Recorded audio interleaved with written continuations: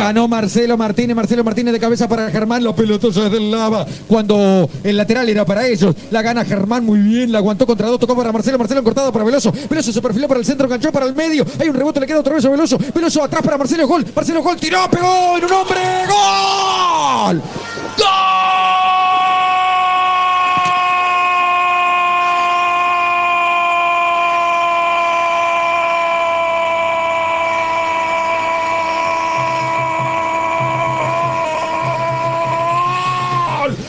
Valleja. Enorme jugada colectiva. Germán Fernández presente. Marcelo Martínez presente. Germán de nuevo presente. Veloso más que presente. Un enganche extraordinario de Veloso entrando por la derecha. Después un rebote y de nuevo Veloso. Lo vio llegar tocando bocina, pidiéndola a los gritos. Marcelo Martínez a la carrera. Tiró. La pelota se desvió en un hombre de guichón y se metió por la derecha para que en tierras del litoral el lava cante y grite fuerte que por segundo año consecutivo está en la final del interior porque aquí en Guichón gana 1 a 0 y en Minas había ganado 3 a 0 así que ya está. El lava en la final Marcelo un rebote y gol después de una extraordinaria jugada colectiva Oral Sport, no escuche fútbol, disfrútelo. Formalmente finalista del interior, podemos decirlo. Sería una catástrofe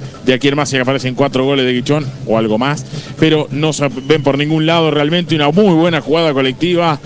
Apareció después de recibir el pase Edgardo Veloso, una de las figuras que ha tenido la noche de muy buena tarea en su función en la mitad de la cancha, liberándose un poco más al ataque en el segundo tiempo. Tocó para Marcelo Martínez, lo vio libre, solo. Este definió bien, se desvió en el camino y lo está ganando la Valleja 1 0. Hay córner para la Valleja, después del córner voy abajo. Tiro libres.